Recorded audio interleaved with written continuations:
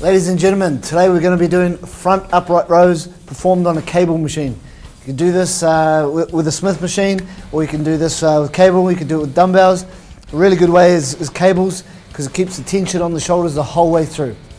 What we're going to do is we're going to take a nice close grip uh, on, a, on, a, on a flat bar.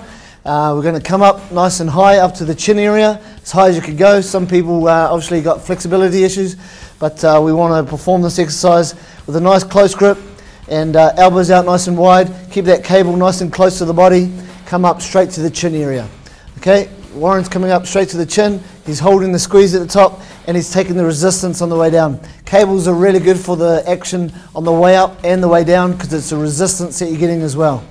Okay, this one here works the top of the shoulder, also the front of the shoulder. It's a good one at the end of your workout just to really get that burn, get the definition throughout your shoulders. Warren will perform this exercise, come up to his chin, and he'll hold the exercise, come down nice and slow. Make sure that you keep that resistance on the shoulders the whole way through. So he's not relaxing too long at the bottom. As soon as he hits the bottom, he goes back up again, and he'll hold the squeeze, and he'll come down nice and slow. Ladies and gentlemen, this is front upright rows, performed with a cable machine, performed with great technique and form. Thank you.